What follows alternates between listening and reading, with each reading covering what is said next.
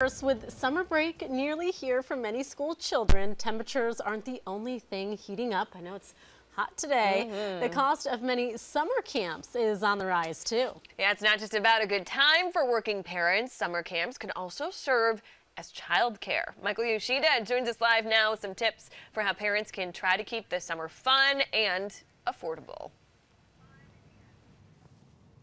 Hey there, Tori and Karen. When we talk about these rising costs, we're seeing summer camps anywhere from $100 to more than $1,000 per week. Still, there are some ways to try and keep the summer plans fun while also not draining the bank account.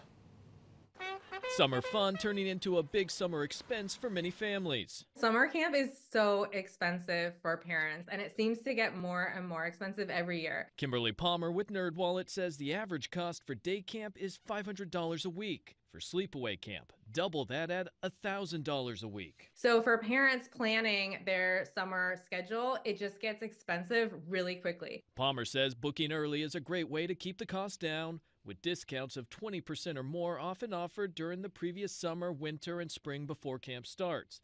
But if you missed out on early bird deals, here are some ways you can still try and save. Call the camps directly, because in some cases where a camp hasn't filled all its slots, they might offer you a last minute discount.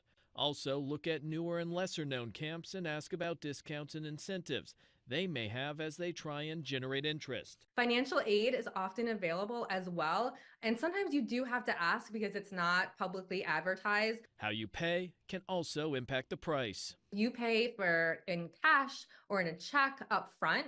You can pay less than if you spread out your payments over an installment plan. Of course, for some people's budgets, it's still preferable to use an installment plan to pay, but it's worth checking to see And it sounds pretty straightforward, but another thing that Palmer talked about is just talking with other parents, whether it be those you know or others in an online message board, see if they've gone through similar difficulties when it comes to these rising costs, and they may have also inside information on what some camps may doing, be doing to try and help families keep the costs down this summer. Back to you.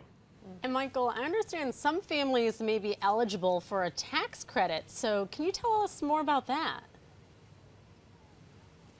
Yeah, so for some, there's the child and dependent care tax credit. Uh, could get up to a little more than $1,000 per dependent. Now, there are a lot of restrictions here, so you definitely want to uh, take care when looking to see if you're eligible. But the basic idea is if your child's under the age of 13, potentially you're eligible. Also, no uh, sleepaway camp. So it's basically if you're using summer camp or day camps as a way for you to then go and earn money. Also, talk with your employers. Some offer flexible spending accounts that you could actually try and use that money to help cover these costs. A lot of different ways to try and subsidize or offset some of these costs as in this inflationary environment, everything seems to just keep mm. going up.